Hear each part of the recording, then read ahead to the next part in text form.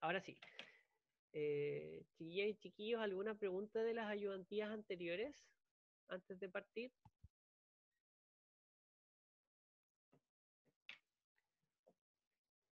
No sé si eh, Laura ya les explicó cómo va a ser la última evaluación. Pero efectivamente va a venir una pequeña parte donde les vamos a pasar un ejercicio y ustedes los van a tener que devolver, así que eh, aún no. Eh, de todas maneras, yo quiero implementar un, horario de consulta esta semana y la siguiente al menos, porque el día jueves se les va a subir como esta entre tarea ejercicios, digamos, que es distinto al de cátedra. Eh, y lo quiero, bueno, subir con un video explicativo también, pero dejar un horario de consulta para que me hagan consulta. Así que voy a escribir por el foro ahí después eh, qué día de jueves o viernes, en qué horario les acomoda que yo esté como disponible para sus dudas vía Zoom. Eh, pero ya vendría siendo lo último del curso. Así que todavía no hay dudas, parece, de las ayudantías pasadas, pero eh, vean las chiquillas, chiquillas, porque van a tener que hacer un ejercicio respecto a eso, al menos, al menos uno.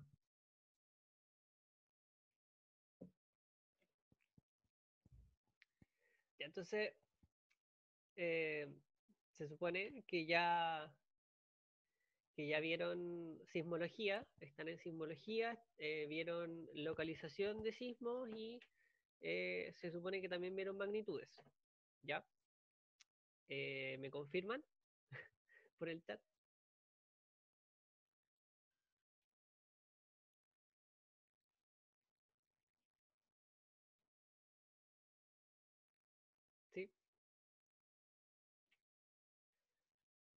Bueno, deberían están viendo en simbología, magnitud y localizaciones. Eh, en la ayudantía que les subí nuevamente ya hay un ejercicio resuelto que es el último que mezcla ambas cosas, así que sería bueno que igual echara una revisada. Así que si no hay consultas, no hay ningún grado de interacción, ni siquiera en el chat, eh, ¿les parece partimos?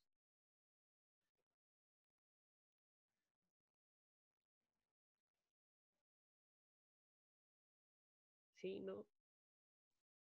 ¿Se escucha? Sí, ya. Gracias, Carlos. Ya. Entonces, vamos a partir con la pregunta 1 para ir como afianzando conceptos. Eh, dice, la onda P de un terremoto, de hecho podemos ir a un sismograma, La onda P de un terremoto es la primera onda que llega, ¿cierto? Que lo podemos ver en la figura.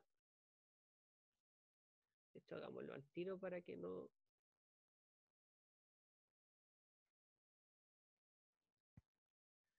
Para que estemos en el mismo idioma.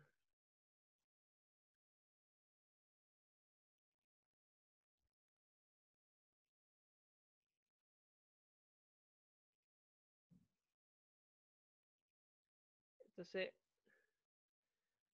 quizá un poquito de repaso.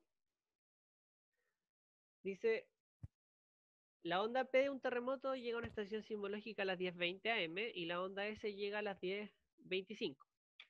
Entonces, nosotros aquí tenemos un sismograma, ya que es un sismograma, un sismograma es el registro eh, de un sismo. Ya, este registro puede ser en velocidad, en aceleración o en desplazamiento. Cuando es desplazamiento es que el instrumento que usamos fue un GPS y en velocidad usamos un sismómetro y si estamos midiendo aceleración es un acelerómetro. ¿Ya? Y en este caso nosotros tenemos velocidad, así que esto lo midió un sismómetro. La primera cosita como que me gustaría que les quedara clara. Entonces, ¿dónde ustedes creen que está la onda P en este sismograma?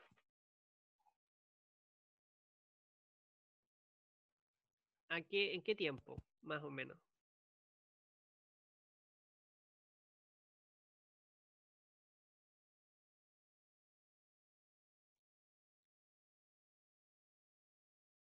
¿Alguna idea?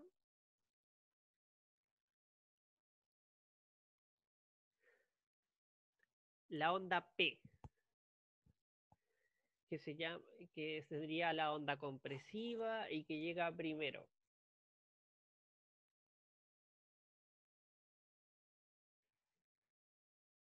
Les cuento que la onda P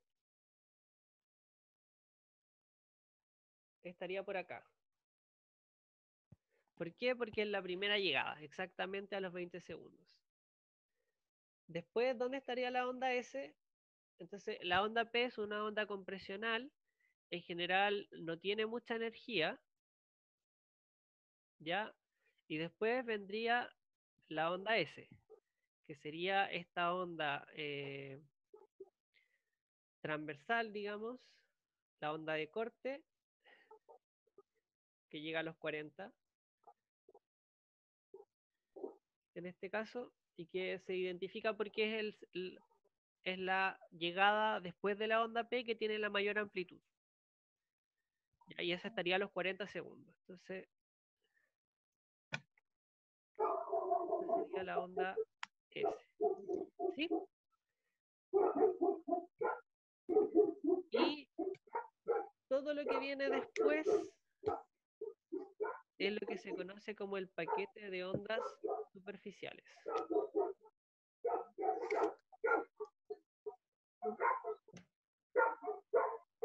¿Ya? Entonces, eso es como se puede identificar un sismograma. La primera llegada va a ser la onda P, la segunda mayor amplitud corresponde a la onda S y todo el resto es lo que se conoce como ondas superficiales. Entonces, podemos ver que las ondas superficiales tienen mayor amplitud, son las más destructivas en un sismo, entonces generalmente eh, cuando uno siente un sismo de menor magnitud, magnitud 4 o 5, siempre siente como un ruido, como que algo se movió, que fue la onda P, después se siente el movimiento eh, hacia un lado, hacia el otro, y finalmente viene este paquete de ondas superficiales que ya todo se mueve mucho más. Así que ahora que estamos hablando en el mismo idioma, que ya vimos un programa, eh, creo que alguien tiene abierto el micrófono. Soy ladrido. Súper. Ah, no sé, Pablo, a lo mejor tenías una pregunta.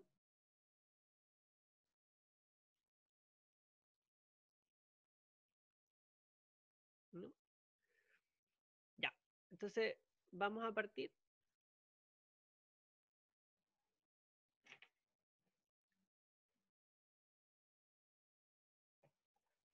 Con la pregunta 1.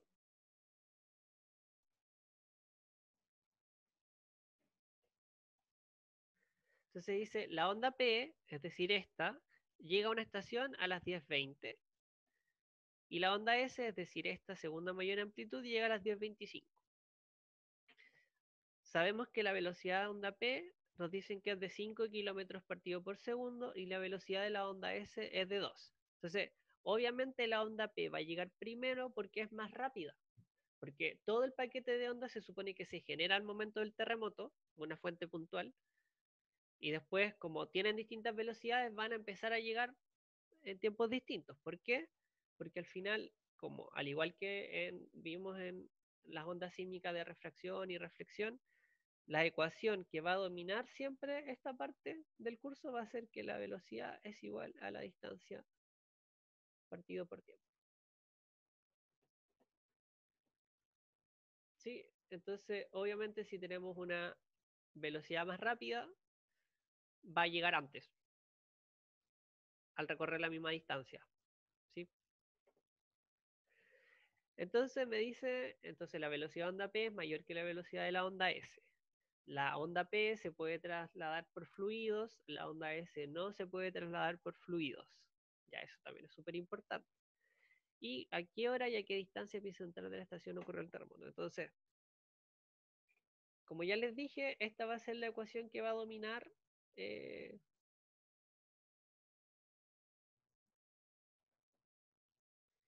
esta va a ser la ecuación que va a dominar. Velocidad igual a distancia partido por tiempo. Entonces, la velocidad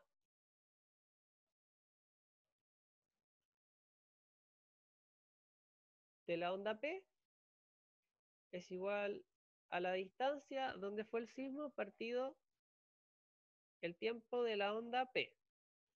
¿Cierto? Entonces, el tiempo de la onda P lo podemos despejar como la distancia partido la velocidad de la onda P.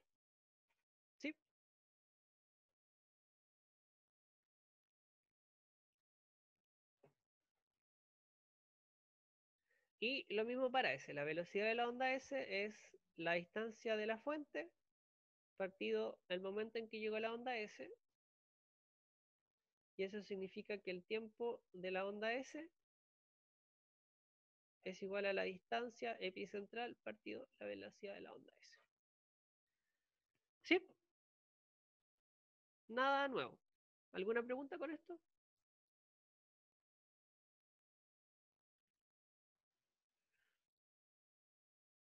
Entonces nosotros podemos decir con esto que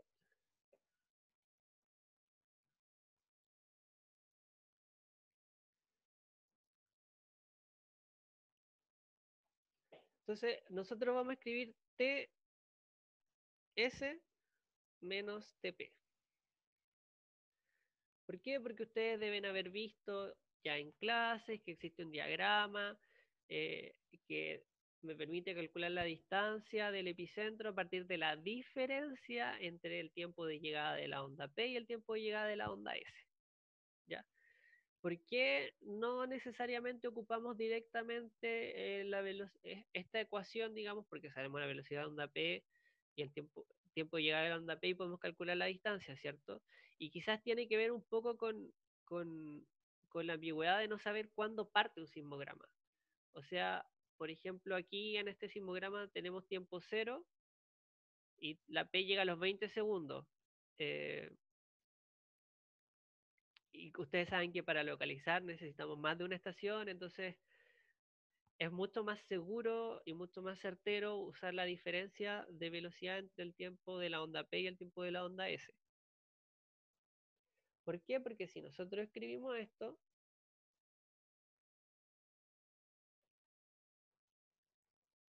significa que es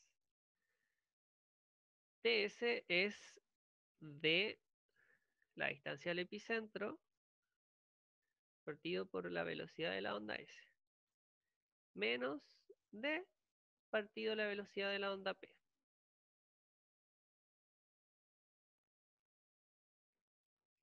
Y eso va a ser igual a la distancia al epicentro y factorizamos por 1 velocidad de onda S menos 1 velocidad de onda P. Es igual a TS menos TP.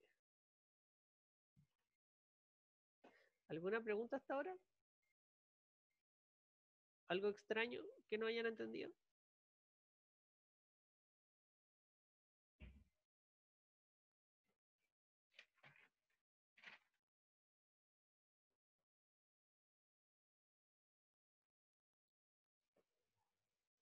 Súper.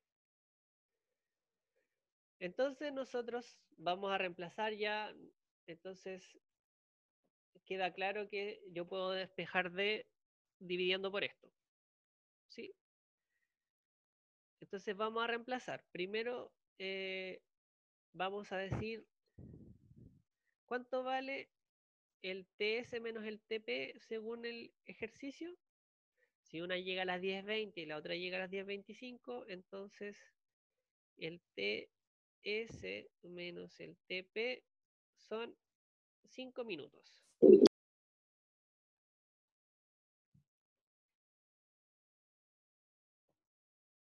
Pero nosotros podemos ver que nos dieron la velocidad en kilómetros partido por segundo. Entonces, ¿qué nos conviene hacer con las unidades? Nos conviene transformarlas, ¿cierto? Y 5 minutos, ¿cuántos segundos son? 300 segundos.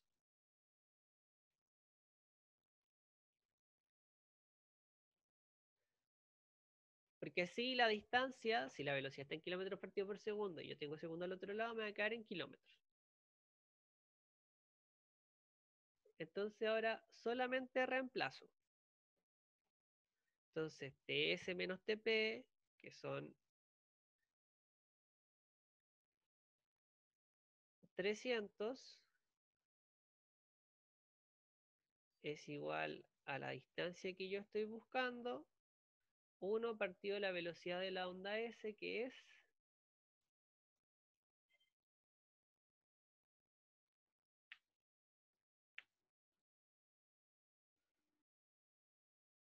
dos punto ocho menos uno.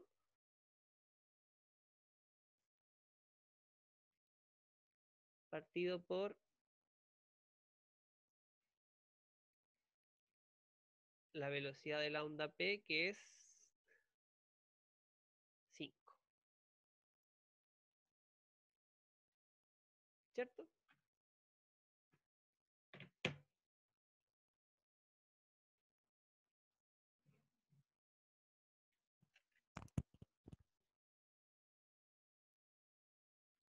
Eso me da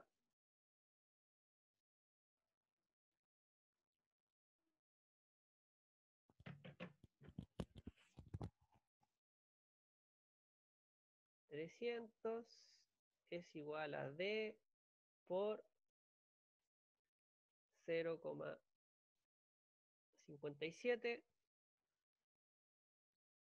Y si me dejan seguir acá la distancia entonces vendría siendo 300 dividido 0,157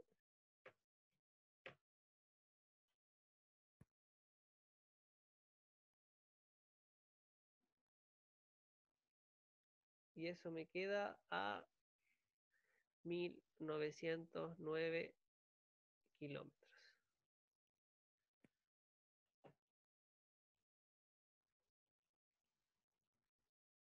Ya, entonces, esta estación, si habían 5 minutos de diferencia, significa que estaba muy lejos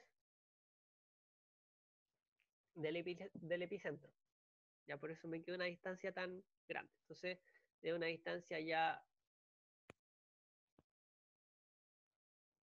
Si piensan que un grado son 111 kilómetros, son como 10 grados. Ya, es harto. Entonces ya calculamos la distancia al epicentro. Entonces, ¿a qué hora fue?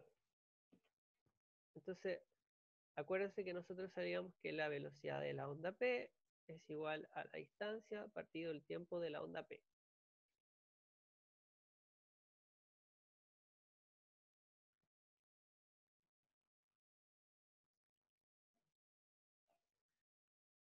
Entonces aquí nosotros podemos calcular el tiempo que se demoró en recorrer la onda P desde el epicentro hacia la estación. Y eso es igual a 1909 partido por el tiempo de la onda P. Son 5 kilómetros la velocidad. Y eso me da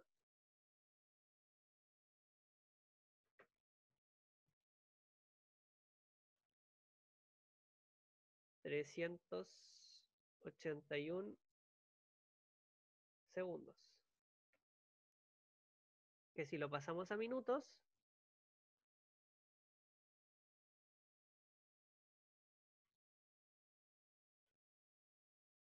son 6,35 minutos. Entonces, si la onda P llegó a las 10.20, ¿a qué hora ocurrió el sismo? Si se demoró 6 minutos en llegar aproximadamente a la estación.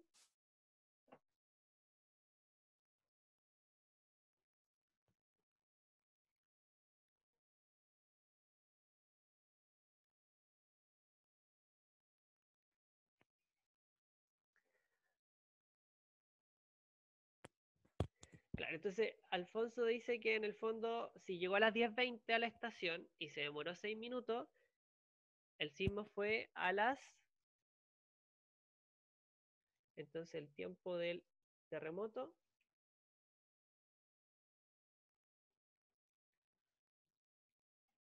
a las 10.14 AM. Y Alfonso me pregunta si esto debería sumarse. Entonces, si se suma, en el fondo tú dirías que eh, tú habrías dicho que era a las 10.26, pero tu registro ya tenía información a las 10.20. Entonces, en el fondo tú estás diciendo, ocurrió un terremoto y la información del terremoto me llegó antes de que ocurriera.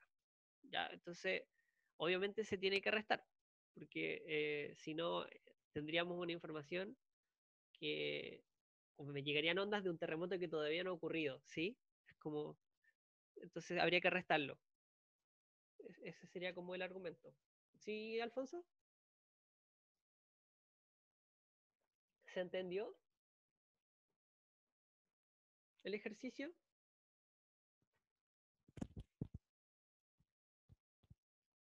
Sí, había que restarlo, pero, pero había que hacer quizá un poco ese análisis.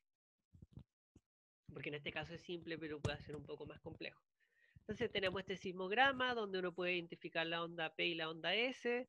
Si uno calcula la diferencia de tiempo de llegada entre la onda S y la onda P, eh, puede calcular una distancia, eh, una distancia al epicentro,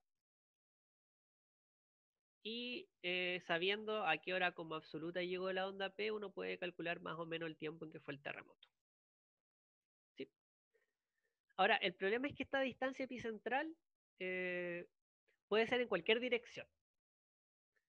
Entonces, esto en el fondo es un radio porque puede venir del norte, del este, solamente sabemos esta distancia, pero no sabemos la orientación.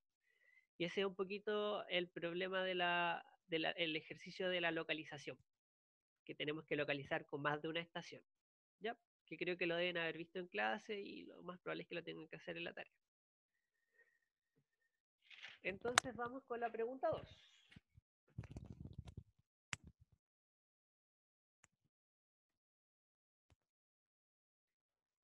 dice, en un sismograma de una estación a distancia regional, se encuentra que el desfase entre el tiempo de llegada de la onda P y la onda S es de 5,5 segundos. ¿Cuál va a llegar primero? La onda P. ¿Cuál va a llegar después? La onda S. La fuente del terremoto ocurrió a una profundidad de X medio, es decir, a la mitad de la distancia del epicentro, como se puede ver aquí en la figura y consideramos que la Tierra tiene solamente una capa con una velocidad constante de onda S de, de raíz de 3 km por segundo y una velocidad constante de onda P de 3 km por segundo. Entonces, una primera pregunta sería, si esta Tierra tiene una capa, ¿por qué tengo dos velocidades?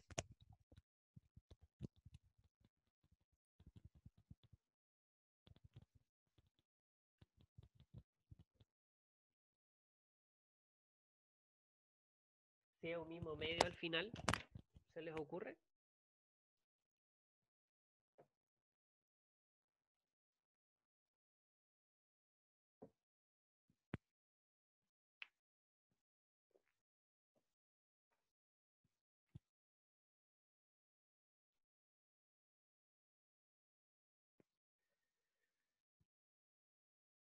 Porque tienen diferentes velocidades porque chocarán con un objeto.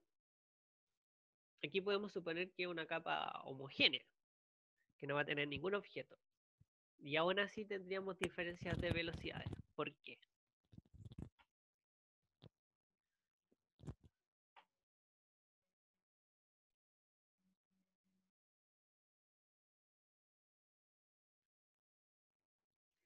Claro, efectivamente hay una onda cuando ocurre un terremoto que es este paquete de ondas superficiales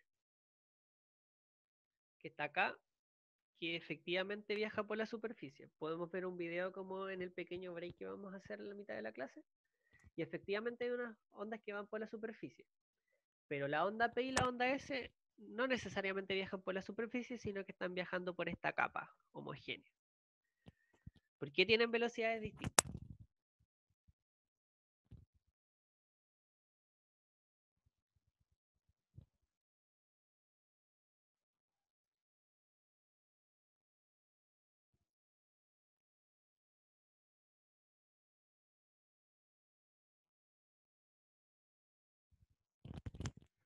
Bueno, la respuesta viene un poco tal y como dijo Pablo, le expliqué a Pablo que efectivamente hay algunas que viajan por la superficie, yo les dije que esas son ondas superficiales. Entonces, si bien yo puedo ver este sismograma que parece como, como que llegara una información que es toda igual, en el fondo la onda P es distinta a la onda S. Entonces, como son ondas distintas y a pesar de que viajan por un mismo medio, tienen velocidades distintas, porque se propagan de forma distinta. Por ejemplo, en el aire, a pesar de que el aire es aire, una onda de sonido tiene una distinta velocidad a una onda electromagnética. La velocidad de la luz en el aire es distinta a la velocidad del sonido en el aire, ¿cierto? Y podemos pensar que las dos cosas son ondas al final que se están propagando solamente que una tiene unas características que hace que sea más rápida que otra. ¿Sí? Entonces, ¿por qué tienen velocidades distintas? Porque son ondas que se mueven distinto, a pesar de que se muevan por el mismo medio. ¿Sí?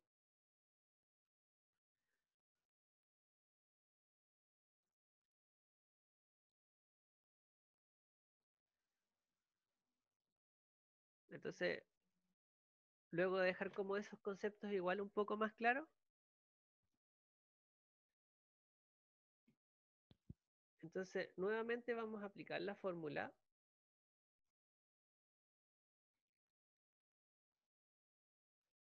Entonces está la P2.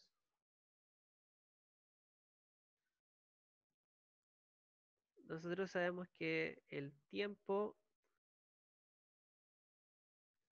ds menos tp es igual a la distancia 1 sobre bs menos 1 sobre bp. Sí, que es la formulita que vimos al otro lado y que deducimos, de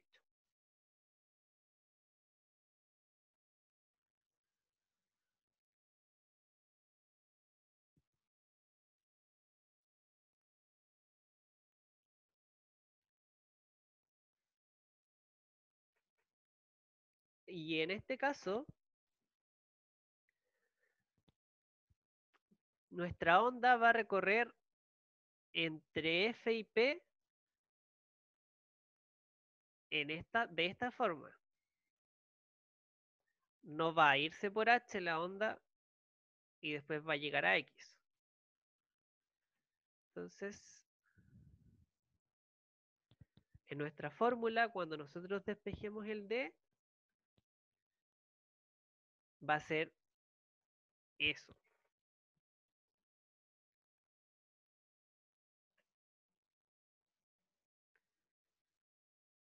¿Sí?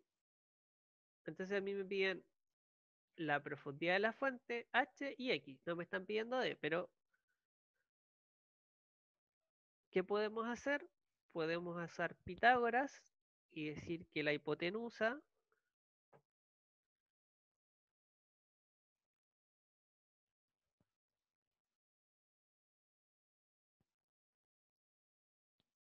perdón,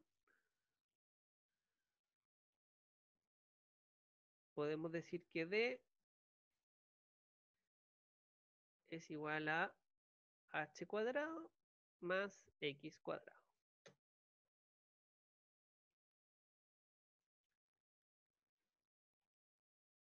Entonces D es igual a raíz de x cuadrado más x medio al cuadrado porque me dijeron que h era igual a x medio. ¿Sí? Entonces, en el fondo, si yo despejo d, puedo despejar x y h. Entonces, vamos a hacerlo.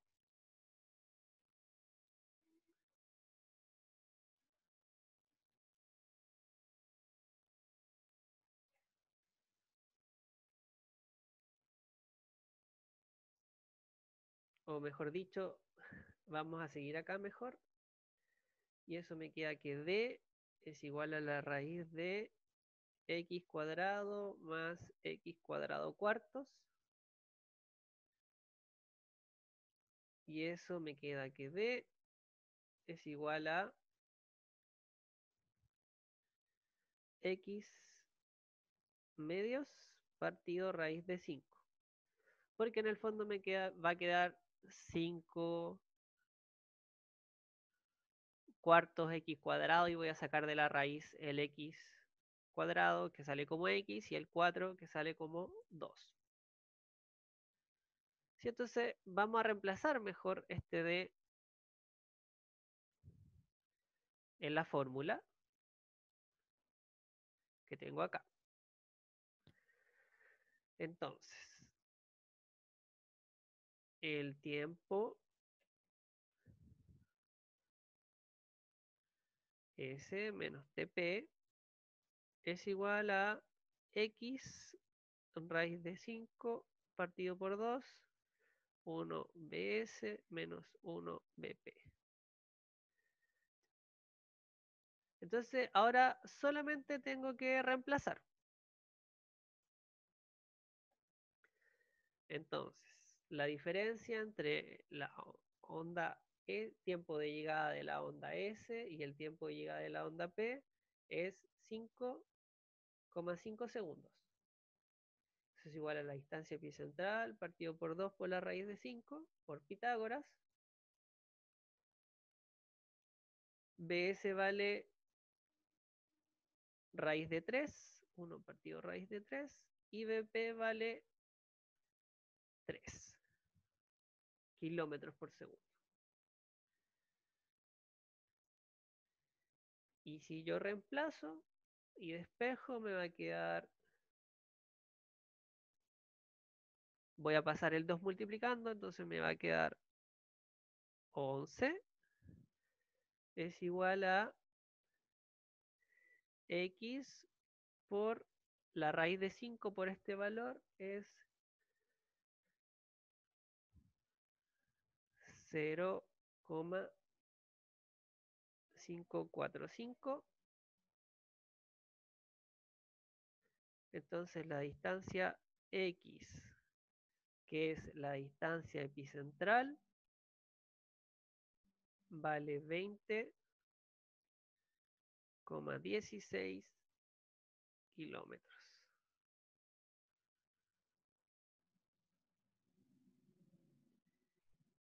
Y por lo tanto, la altura, que era la distancia epicentral partido por 2, es casi 10 kilómetros de profundidad.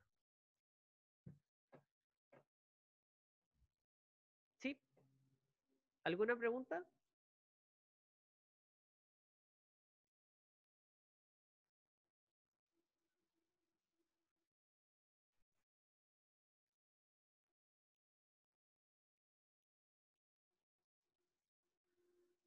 Melanie, Matías, Carlos, Benja, Alfonso, Pablo, ¿alguna pregunta? ¿Se entiende? Ya, no se entiende. Entonces, vamos a volver a mostrar el final. Sí. Entonces, a mí me habían dicho por enunciado que H era la distancia epicentral partido por 2. Por eso es 10.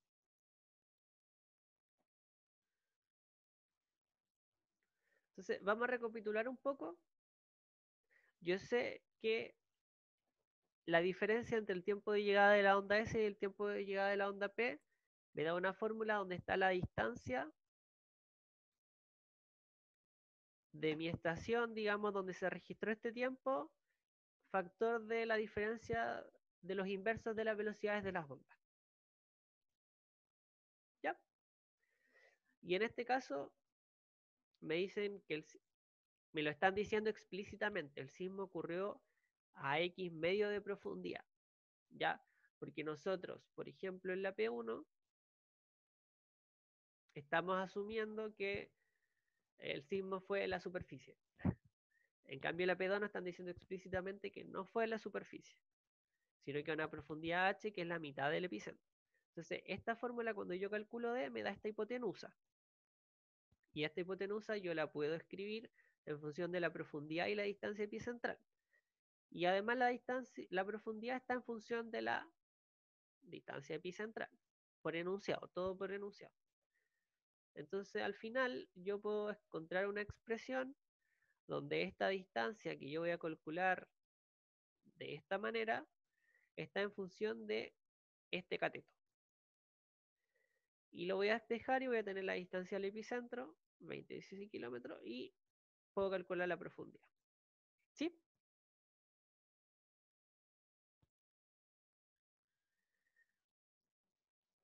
Ahora, es súper importante igual que en la P1 nunca hablamos de profundidad, ni de hipocentro, ni nada, sino que directamente llegamos y calculamos y dijimos que la distancia del epicentro eran mil kilómetros.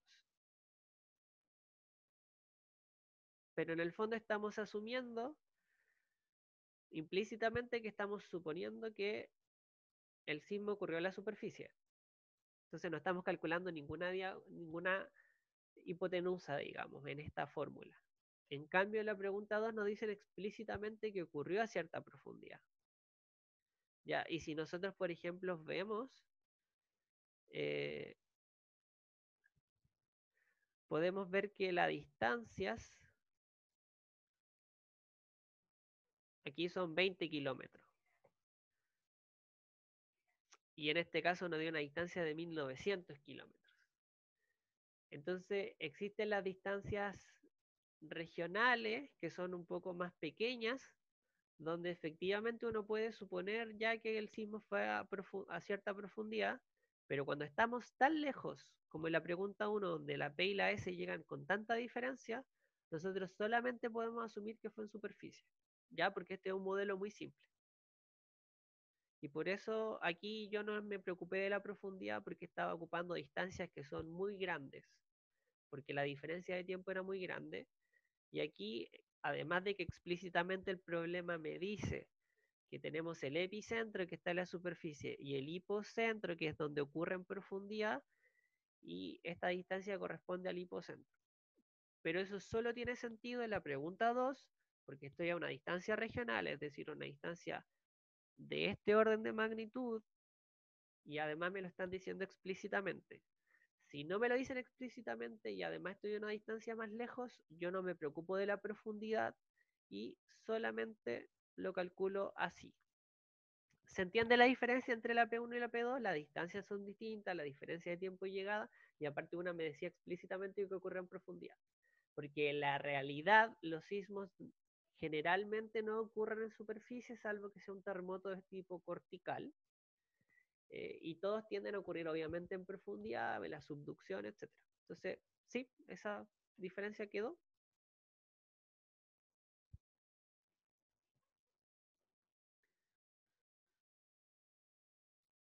Súper. Entonces, eso tiene que ver con la localización. Ya, tiene que ver con que nosotros tenemos sismogramas donde podemos ver onda P y onda S, calculamos la diferencia de llegada para calcular una distancia epicentral y listo. Y que obviamente esta distancia puede ser en cualquier dirección, así que necesitamos más de una estación para localizar precisamente. Sí, lo deben haber visto en clase, lo van a discutir en la tarea.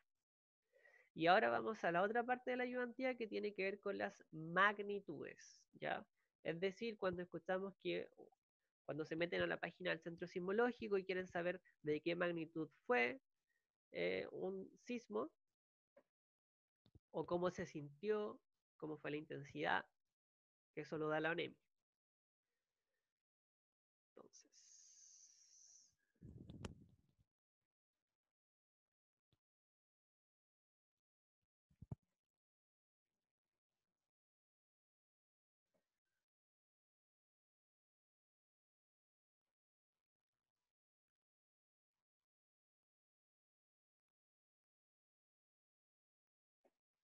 Entonces, la pregunta 3 tiene que ver con las magnitudes. El terremoto de Valdivia fue magnitud de momento MW 9.5. ¿Ya? El terremoto más grande registrado en la historia, registrado, quiere decir que, hay instrumentos que lo midieron, digamos, Eh, ¿Significa que es el terremoto más grande que ha ocurrido en la historia geológica del planeta? No, es muy poco probable, porque el planeta tiene 4.500 millones de años y los registros sísmicos tendrán 100.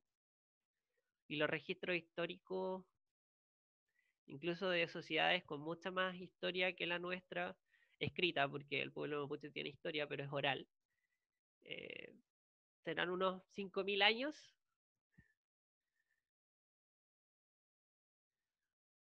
Sí, estamos en el 2020, imaginemos que al menos son 2.000 años. Eh, entonces, al menos los últimos 100 años lo hemos registrado y de estos últimos 100 años de registro, eh, propiamente tal, el terremoto de Valdivia en 1960 es el más grande. Ya, solamente quiero hacer esa aclaración porque ¿Es el más grande registrado, el más grande de la historia de la Tierra? No, es poco probable. Ya. Entonces, eh, les digo que los vamos a comparar con el terremoto del Maule, con el terremoto de Yapel y el terremoto de Iquique, que han sido los últimos terremotos que todas y todos hemos vivido. ¿Ya? Y para eso les digo que hay que usar la relación de MW y momento sísmico. Entonces, antes de ir al problema, vamos a dejar clara la fórmula. ¿Les parece? Entonces, eh, existen muchas formas de medir la magnitud. La magnitud es qué tan grande fue un terremoto y es... Me interesa saber la magnitud porque me interesa saber qué tan grande es un terremoto en comparación a otro. Porque terremotos grandes se supone que generan daños grandes, ¿sí? Entonces, fórmulas.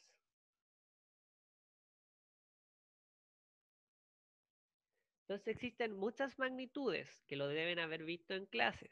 La el nombre al menos. Existe la magnitud de momento, la magnitud local. La magnitud local fue creada por Richter. Existe la magnitud de coda, la magnitud de onda de cuerpo, la magnitud de onda superficial, etcétera, etcétera, etcétera. Ya. Nosotros en general vamos a trabajar con la magnitud de momento para este curso porque la magnitud de momento es la más utilizada a partir del terremoto de 1960, eh, es la que se utiliza actualmente para terremotos grandes y eh, tiene directa relación con un concepto que es el momento sísmico, que tiene relación con la energía. Entonces, al final, la magnitud de momento es una escala que me da nociones de energía de un terremoto, a diferencia de otras escalas. Entonces, nosotros vamos a decir que la magnitud de momento MW va a ser igual a 2 tercios logaritmo en base 10 para que sea más explícito, porque ustedes saben que en la universidad los logaritmos ya son logaritmos naturales, de M0 menos 6,07. Ya. Y en este caso,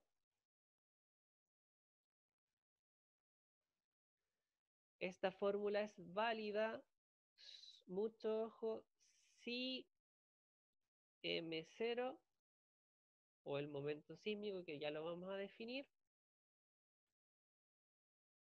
está en newton por metro. Es decir, en el sistema internacional de unidades.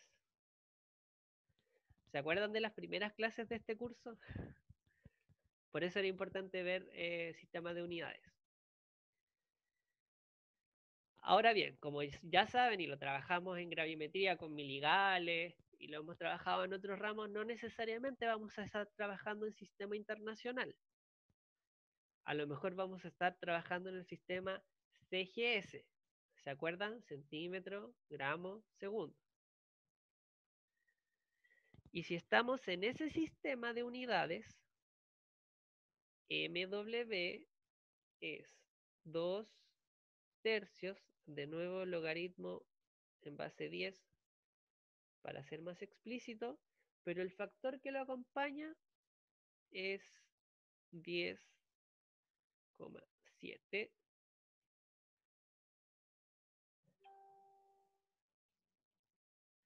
M0 es momento sísmico y lo voy a definir al tiro. ¿Ya?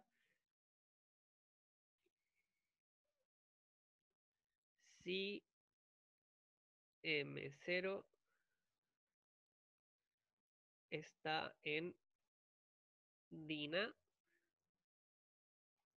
por centímetro. Y eso es igual al sistema CGS. Ya. El momento sísmico podemos ver que es como una fuerza partido por una distancia. ¿ya? Y el momento sísmico en el fondo es un tensor, que es un tensor, es como una matriz gigante que me da mucha información respecto al terremoto.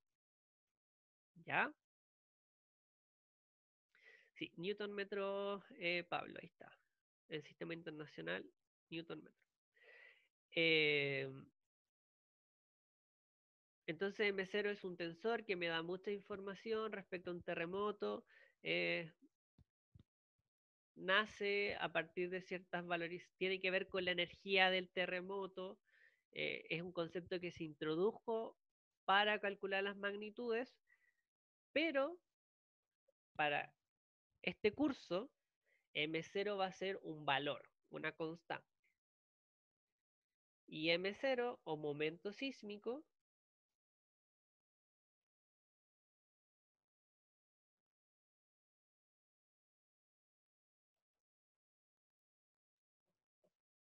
va a ser igual a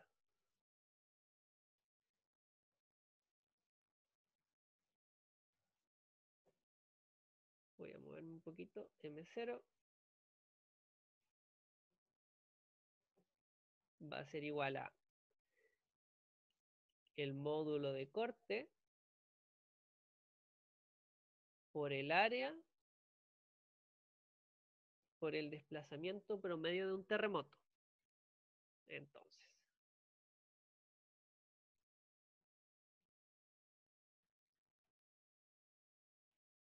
esta es una constante que tiene que ver con las propiedades elásticas de la Tierra. ¿Sí? Este es el área de ruptura del terremoto. Eso quiere decir que los terremotos ya no son puntuales, sino que los terremotos van a romper un área. Ya, por ejemplo, el terremoto del Maule no, no, fue un punto, sino que rompió, como se dice, entre eh, Biobío y hasta Pichilemu, más o menos. ¿Ya? 300 kilómetros terremoto de Valdivia rompió mil kilómetros entre Biobío y la península de Arauco. ¿ya? Entonces es un área que tiene un largo y tiene un ancho. Y D es el desplazamiento o deslizamiento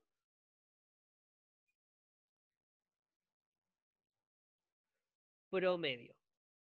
¿Por qué? Porque ustedes saben que eh, ustedes escucharon para el terremoto del Maule que eh, las cosas se movieron, la costa se levantó, se redujo, si tuvieron la oportunidad de ir a una playa antes del terremoto del 2010 y una playa después del terremoto del 2010, pudieron darse cuenta de que a lo mejor tenía menos playa, había menos arena o, este, o el mar estaba más adentro más afuera, ¿ya?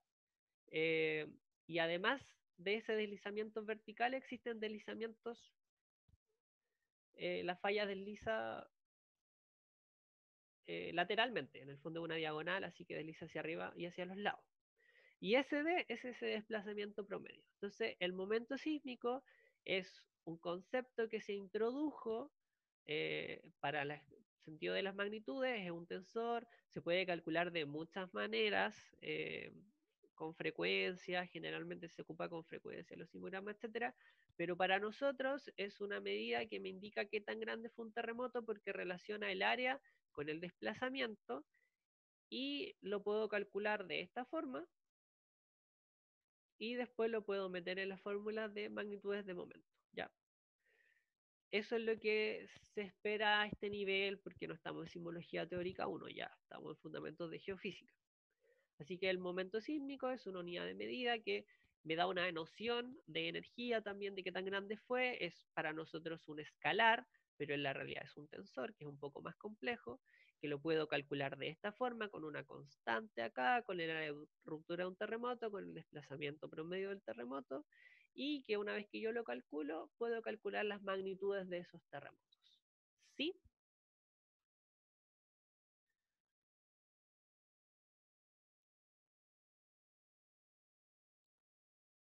¿Sí? ¿Me confirman, por favor? Son fórmulas, son definiciones, son conceptos nuevos que ya vieron en clases.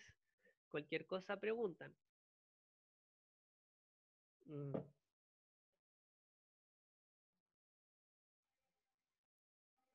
Entonces, ya que tenemos las fórmulas acordadas, tenemos los conceptos acordados más o menos claros,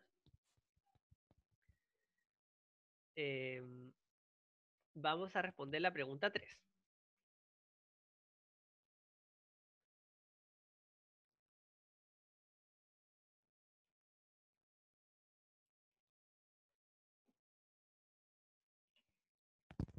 Entonces, ¿cómo los vamos a comparar?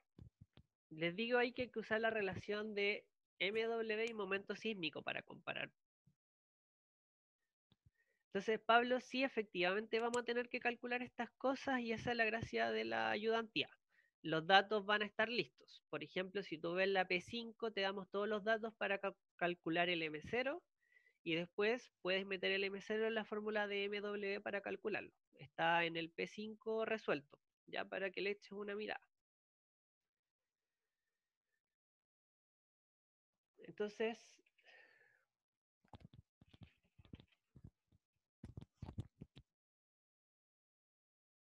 ¿por qué les digo que hay que usar la relación entre momento sísmico y MW?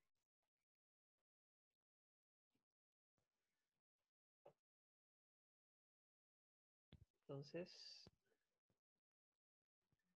P3.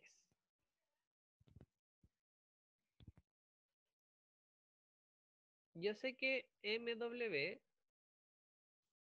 es igual a 2 tercios log en base 10 del momento sísmico menos 6,07, porque lo vamos a trabajar en sistema internacional. Yo voy a despejar M0. ¿Ya? ¿Por qué? Porque voy a comparar los terremotos en función del M0. ¿Por qué? Porque ya vimos que el momento sísmico eh, me da una noción, entre comillas, de qué tan energético, me, me puede comparar la ruptura y el desplazamiento. Entonces, el momento sísmico es una buena herramienta, digamos, como para comparar, porque eh, el MW no me dice mucho, digamos, porque es una forma de medir qué, qué tan grande o no fue un terremoto, pero no me permite compararlos tan fácilmente. Entonces los voy a comparar en M0. Entonces, para esto vamos a despejar M0. Entonces voy a decir que MW más 6,07 es igual a 2 tercios log en base 10 de M0.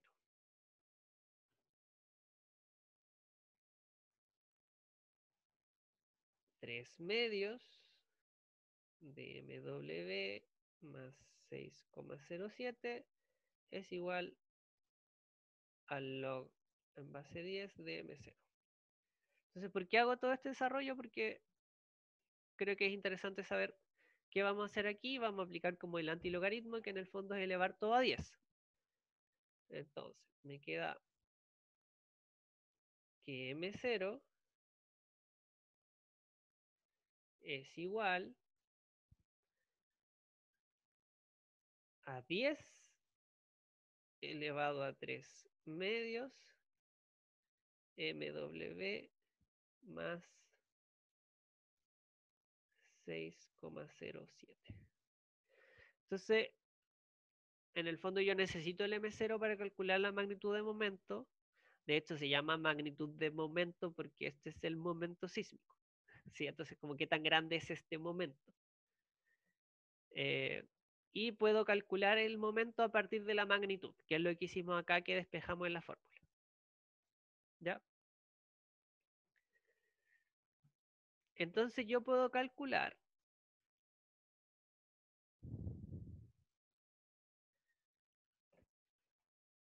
puedo calcular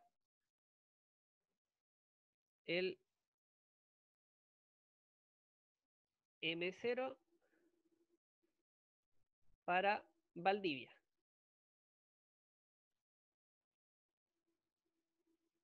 que fue de magnitud 9.5. Entonces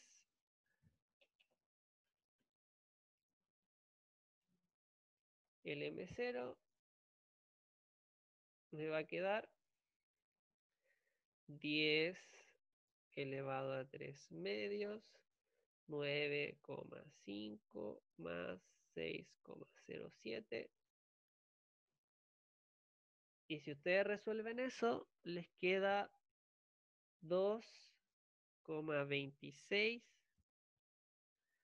por 10 elevado a 23 newton por metro.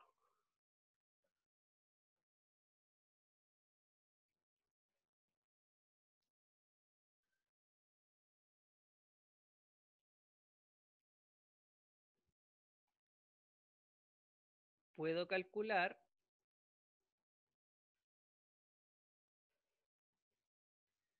el M0 para el Maule, que fue de magnitud 8.8.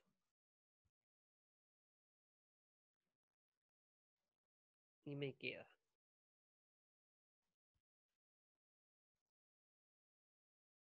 M0 es igual a 10 elevado a 3 medios, raíz de factor de 8.8 más 6,07 y eso me queda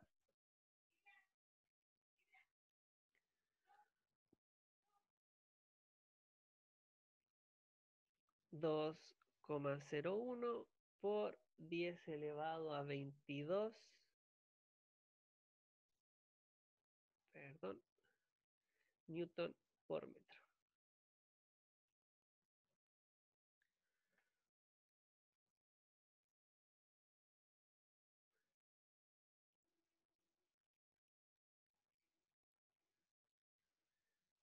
Bueno, yo puedo dividir el M0 de Valdivia por el M0 del Maule.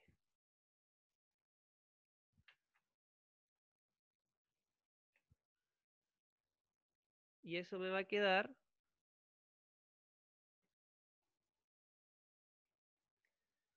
2,26 por 10 elevado a 23 partido por 2,01 por 10 elevado a 22.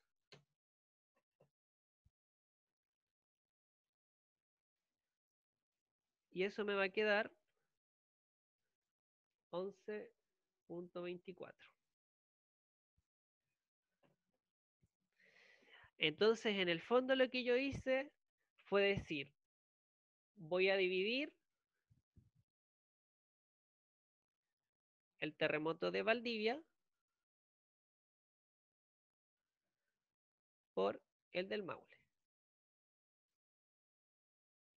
Y si yo despejo, ¿Qué estoy diciendo? Estoy diciendo que 11 terremotos del Maule equivalen a Valdivia o que el terremoto de Valdivia, perdón,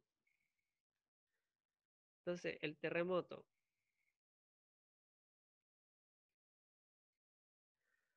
de Valdivia, o oh, ¿por, qué, ¿por qué se escribe así? Perdón.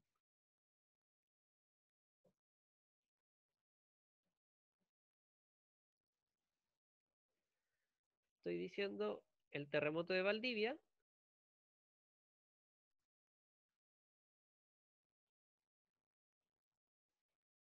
que es magnitud 9.5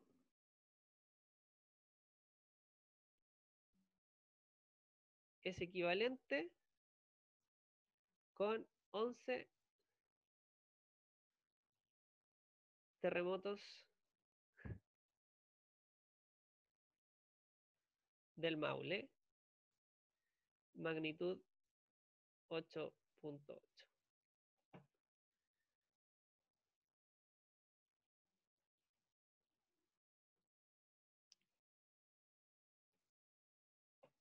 Perdón, ahí está.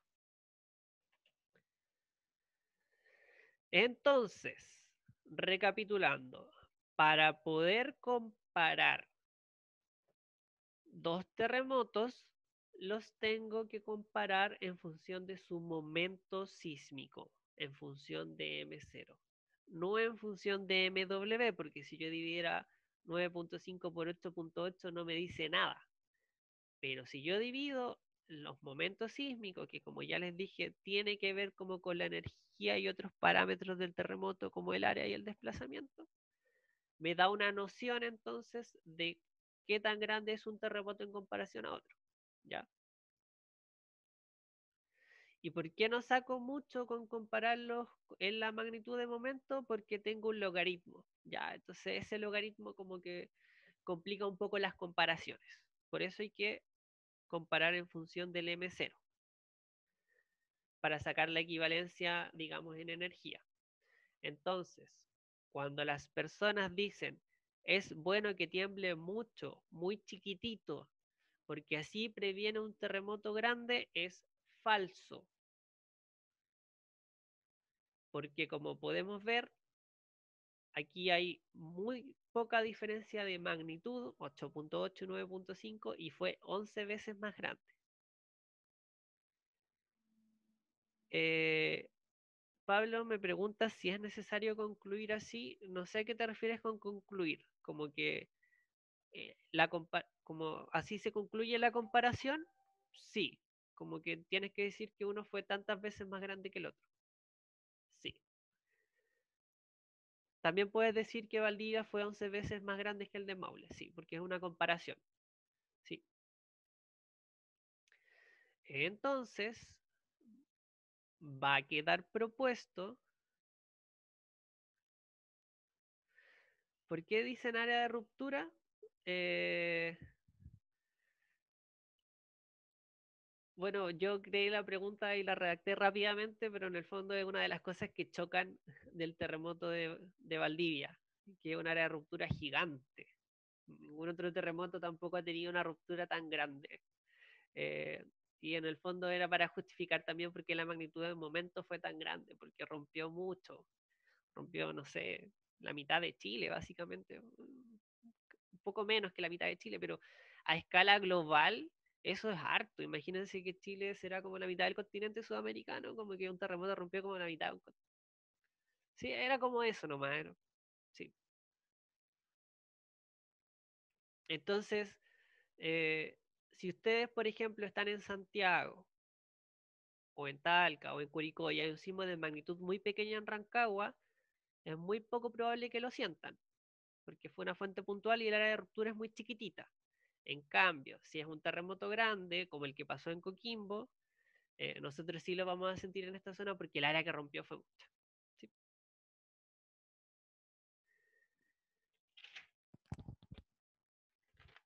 Entonces voy a dejar propuesto el B y el C porque es exactamente lo mismo. Y vamos a ir a la P4. ¿Ya? ¿Alguna pregunta con esto? de cómo compararlo los terremotos?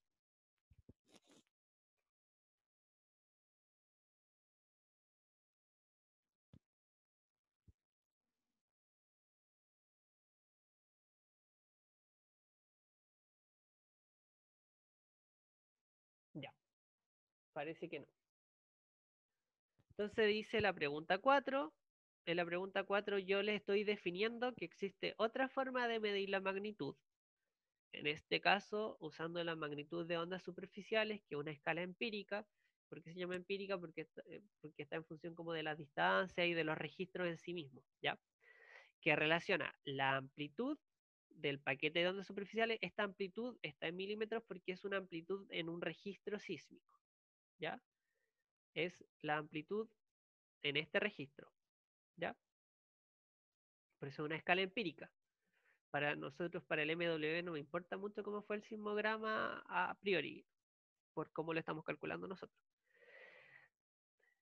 Entonces, las ondas superficiales, el paquete de ondas superficiales, las ondas superficiales tienen distintos periodos y frecuencias cada uno, y aquí me están diciendo que para cierta onda superficial de cierto periodo, y me relaciona la distancia epicentral en grados.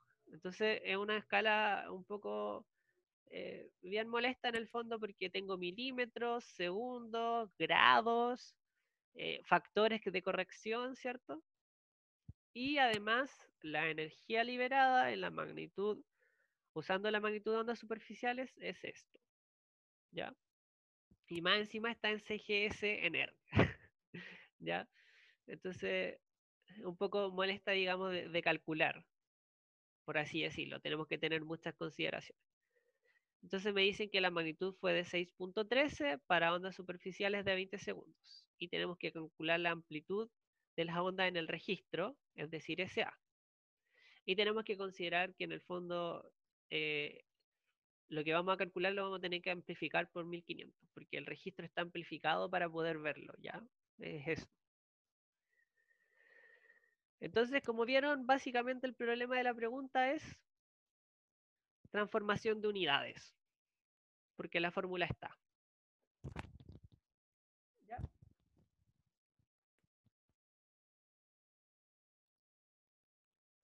Entonces, lo primero que voy a hacer es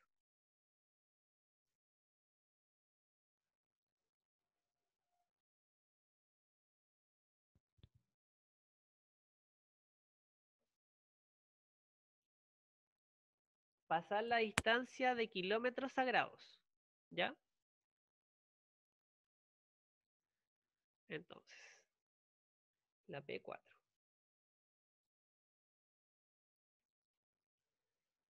Entonces, para que esté todo en las unidades que me pide la fórmula, yo sé que un grado son 111,1 kilómetros.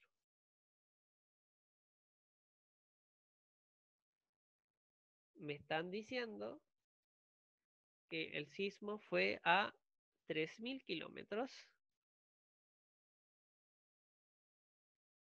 Y quiero saber cuántos grados equivalen a eso porque la fórmula me la está pidiendo en grados. ¿Ya? Entonces, si yo despejo, me queda que la distancia en grados que me pide la fórmula son 27 grados aproximadamente. ¿Ya? Es 3000 dividido partido por 111. Entonces, ya la fórmula que está acá, ya lo tenemos en grados. Y ya me dieron el periodo en segundos. Así que ya puedo despejar el A, ¿cierto?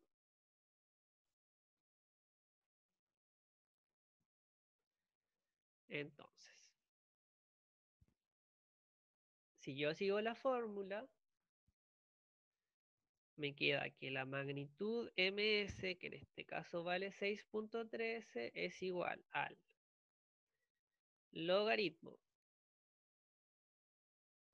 de la amplitud en el registro milímetros partido por el periodo de la onda superficial, 20 segundos,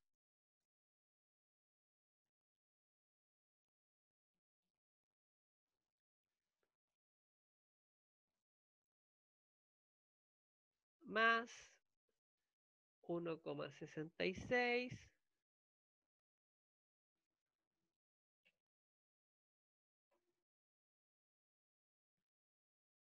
¿cierto? logaritmo también. Vieron que es una escala un poco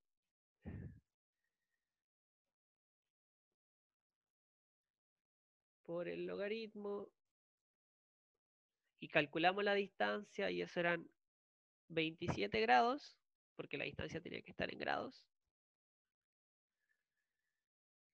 más 3,3, un factor de corrección. ¿Preguntas? Estoy reemplazando y cerciorándome de que todo esté en la unidad, es que me pedía la fórmula que se les entregó.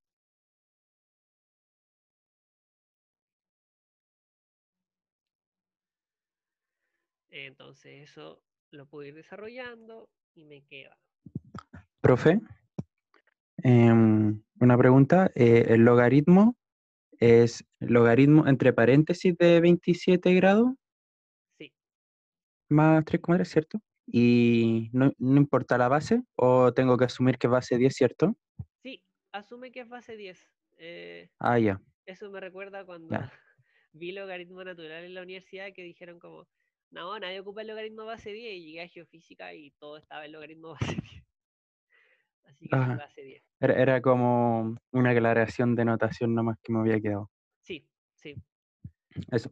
base 10. Entonces voy a seguir desarrollando. Me va a quedar 6,13 es igual a logaritmo, bueno, base 10 entonces, de A partido por 20. Y ya resolví el logaritmo de 27 y todo, y, me y lo sumé y me queda 5,676. Entonces me queda que el logaritmo en base 10 de A partido por 20 es igual a 2,84.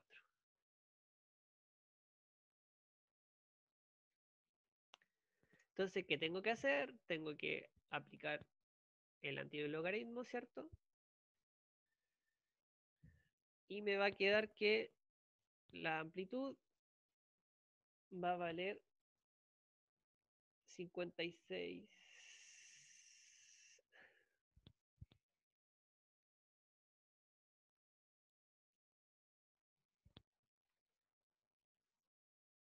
Me va a valer 56,8 milímetros. Pero me dijeron que en el registro está amplificada y que este resultado yo lo tenía que multiplicar por 1500.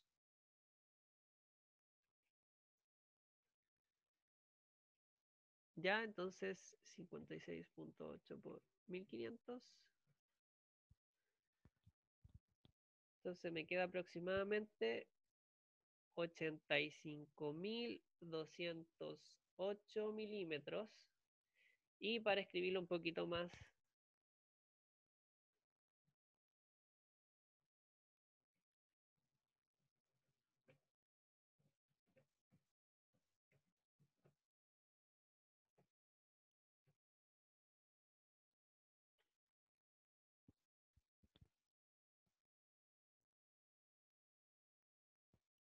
Y eso serían 8 metros.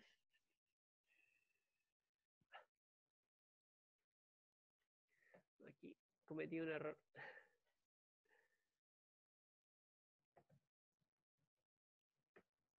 Claro. Olviden.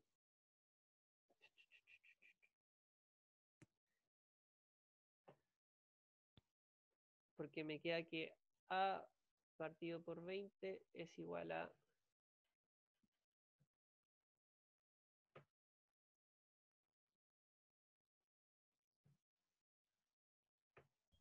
Gustavo. ¿de dónde sale el 2,84? de restar 6,13 co- por 5,6, No puede dar tanto. ¿no?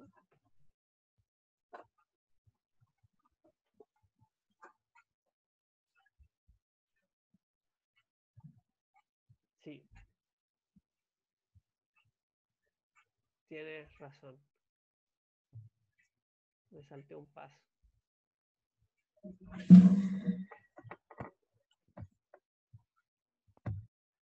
Son 0,453. Ahí sí.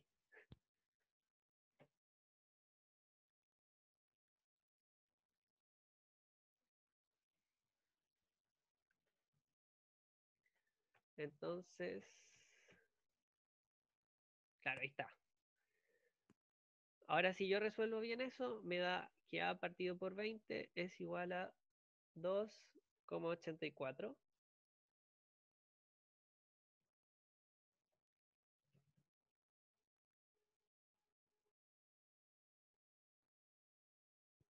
Entonces me queda que la amplitud es igual a 56,8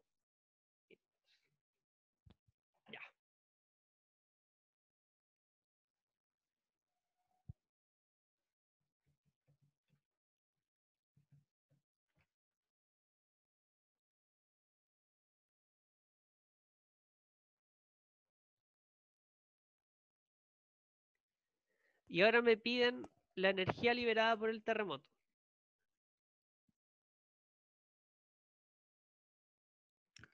Entonces no se hace nada con la amplificación. Sí.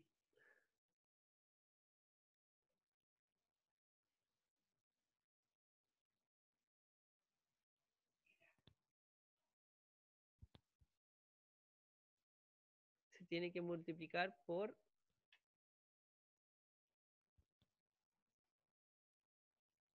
mil quinientos.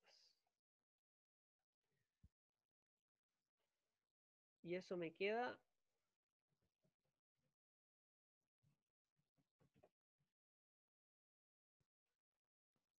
en 85.200.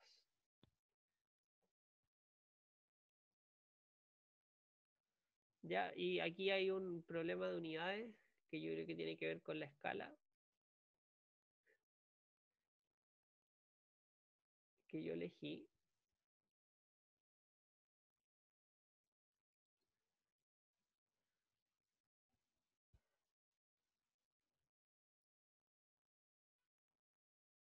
Pero esto tendría que estar en milímetros, ¿ya? Ahora, esto está malo, pero debe ser por que yo debo haber copiado mal en el ejercicio la, amplificación o algo. Pero en el fondo es 15 nomás. Ya, yo creo que aquí hay un problema de... Lo vamos a dejar con asterisco. Porque aquí tengo un problema con las unidades que tiene que ver con el problema cuando lo copié. ¿Ya? Pero sí, habría que multiplicar por el 1500. ¿Ya? Eh, tendría que ver bien en el problema real esa amplitud en qué unidades me está dando. Ya puede que incluso me esté dando eh, centésimas de milímetro, ya tengo que revisarla. Pero más o menos así se hace. ¿Ya? Entonces va a quedar con asterisco este resultado porque es un resultado que no tiene mucho sentido físico, porque un sismograma, eh, un papelito se pasaría de los metros, ¿cierto?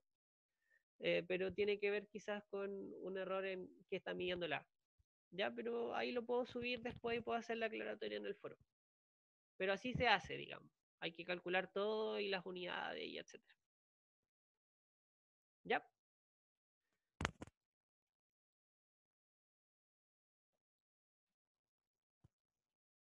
Pero tiene que ver con las unidades, sí. En verdad trabajar con esta magnitud empírica, eh, este cacho siempre.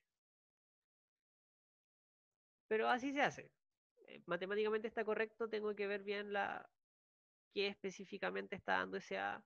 A lo mejor son centenas de milímetros, ya. O, o una cosa así. O milésimas de milímetros. Ya. Entonces me piden la energía liberada por el terremoto. Ya que en el fondo sería aplicar esta fórmula.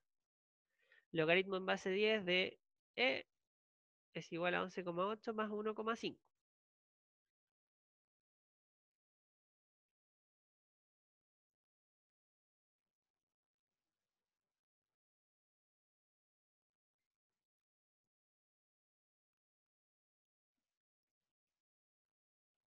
Entonces, el logaritmo en base 10 de la energía es igual a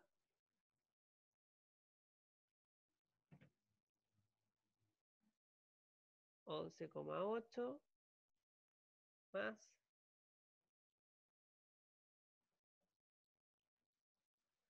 uno coma cinco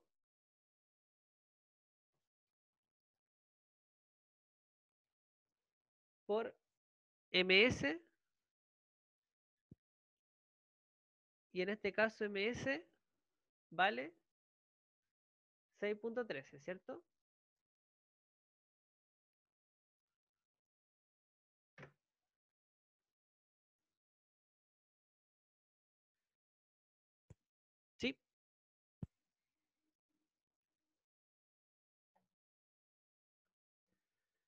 Entonces, me queda el logaritmo en base 10 de la energía es igual a 11.8 más 1,5 por 6.13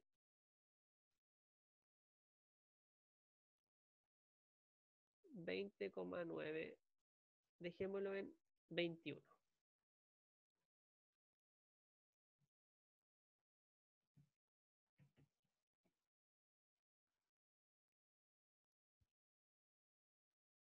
Entonces me queda que la energía es 10 elevado a 21 ERG, que es la unidad de medida en el sistema CGS.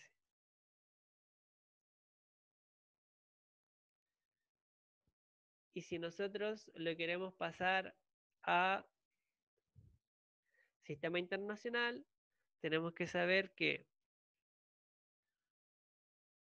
un joule, ¿cierto? Que es el sistema internacional, es 1 por 10 elevado a 7 ERG. Entonces, ¿la energía cuánto es? ¿En julios?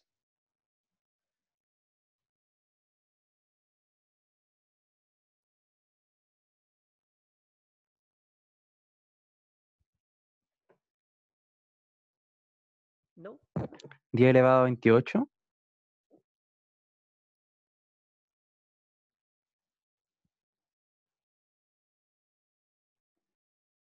Entonces, aquí es 10 elevado a 21, ¿cierto? Y acá es x. Entonces sería 10 elevado a 21 partido 10 elevado a 7. Eso es 21 menos 7. Y eso es 10 elevado a 14 entonces. 10 elevado a 14 joules. ¿Vieron? Al final es todo un tema de unidades y tener cuidado en cuáles estamos trabajando. Ya, en este caso yo no pedí que fuera en, en sistema internacional, por ejemplo. Así que podría haber dejado en ERG. Ya. Entonces, como ya se cumplió la hora, eh, pueden retirarse, pero yo voy a terminar el C para que cuando yo suba el video esté completo el problema. ¿Les parece?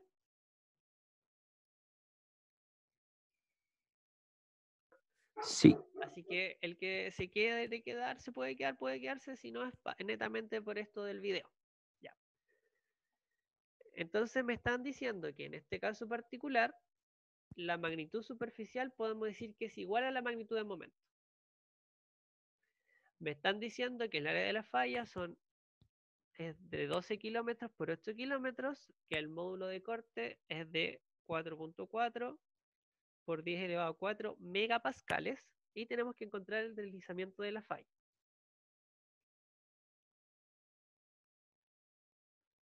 Ya, entonces,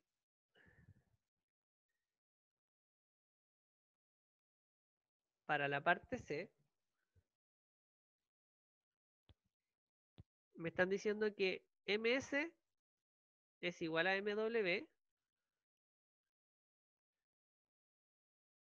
pero me están pidiendo algo que tiene que ver con el tensor de momento sísmico. Ya, entonces lo primero que yo tengo que hacer es calcular el momento sísmico como usando la relación que MW es igual a 2 tercios logaritmo de M0 menos 6,07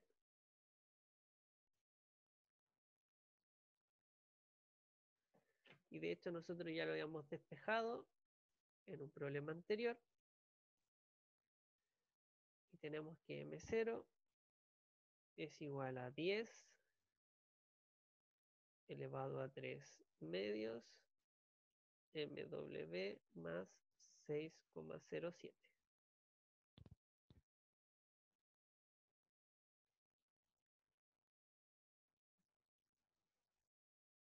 Entonces, en nuestro caso, me dijeron que el MS era igual al MW. Entonces, 10 elevado a 3 medios, factor de. Era 6.13. 6.13 más 6,07.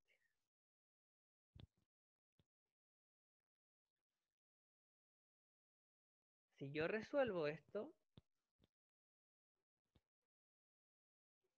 me va a quedar que el M0 es aproximadamente 2,19 por 10 elevado a 18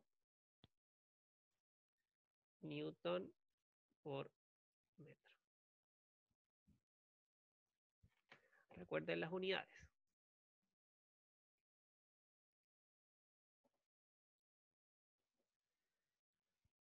Y ahora que tenemos el M0, nosotros sabemos que M0 es igual al módulo de corte por el área por el desplazamiento promedio.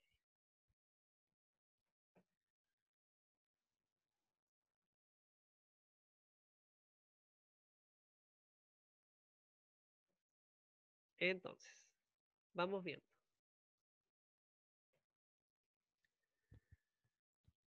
Me dijeron que el módulo de corte era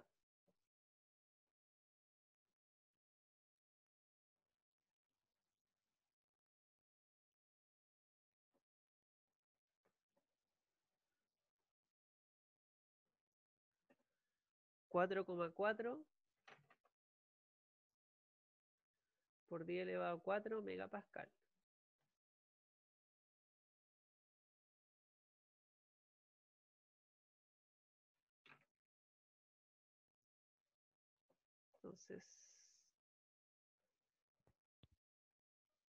Eran 4,4 por 10 elevado a 4 megapascal. Mega es una forma de abreviar 10 elevado a 6. Entonces eso es 4,4 por 10 elevado a 4 por 10 elevado a 6 pascales.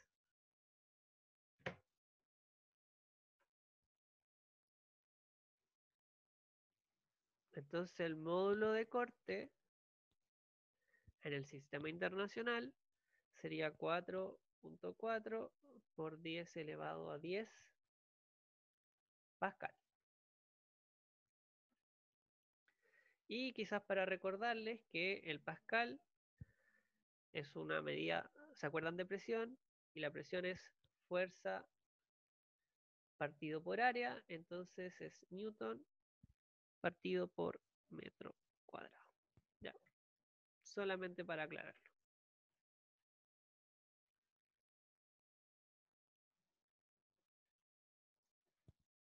El área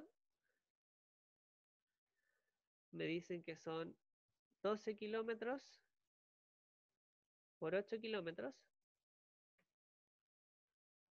Entonces el área serían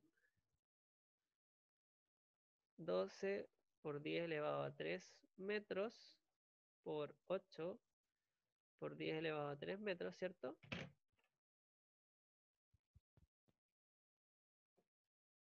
Y eso me va a quedar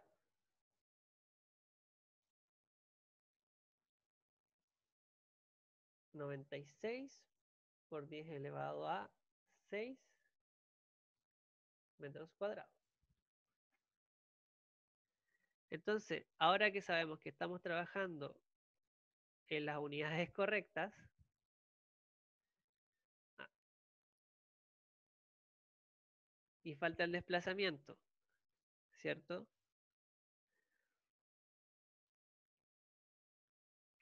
O el deslizamiento es lo que me están preguntando.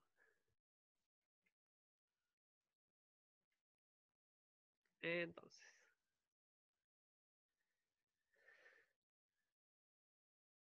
Me están preguntando cuál fue el deslizamiento promedio del terremoto. Entonces yo puedo despejar D como M0 partido del módulo de corte por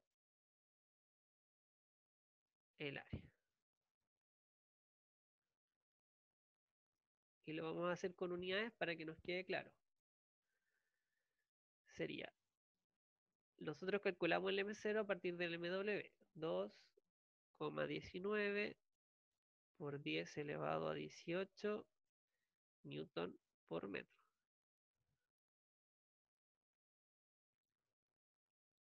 Partido por el módulo de corte que era 4,4 por 10 elevado a 10 newton partido por metro cuadrado. Por el área, que eran 96 por 10 elevado a 6 metro cuadrado.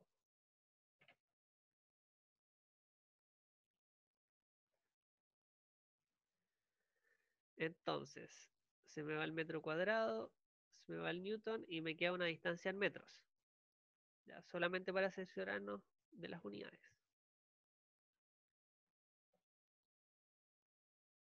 Así finalmente me queda que el desplazamiento, que es lo que me estaban preguntando, es aproximadamente 0,52 metros. Ya.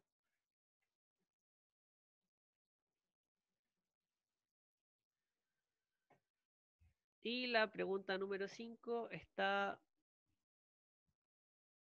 como pauta para que la revisen porque es una pregunta que incluye localización y cálculo de magnitud. Así que gracias a las personas que se quedaron. Carlos, Matías, Pablo, no sé si tienen alguna pregunta.